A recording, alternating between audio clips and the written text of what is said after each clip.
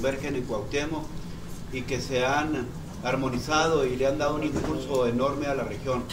Y este festival tiene que ver con ellas. Incluso hay un eh, evento de rodeo en las comunidades menonitas y exclusivamente con menonitas que están ingresando mucho a este tipo de, de eventos. Efectivamente se abre con mocedades, se cierra con Río Roma, pero el día 7 tenemos una pelea de box entre un juarense, Miki Román, y un cuautemense, Daromara, de una de estas culturas. Daniel Ponce de León es un campeonato internacional transmitido en vivo por una a nivel nacional y a nivel internacional.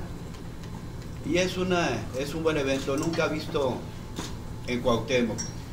Y eventos intermedios que tienen que ver con las bellas artes, que tienen que ver con la cultura.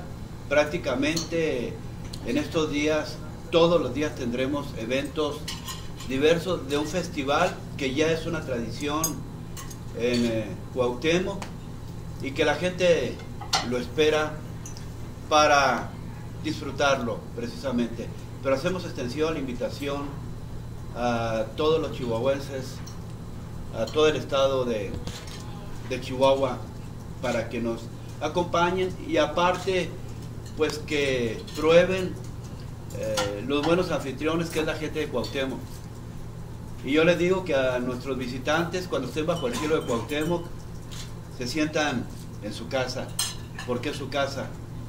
Cuauhtémoc es Chihuahua y Chihuahua es Cuauhtémoc. Es un festival para todos, para que lo disfrutemos y nos acompañen, que conozcan un poquito más de Cuauhtémoc, que conozcan un poquito más de estas tres culturas.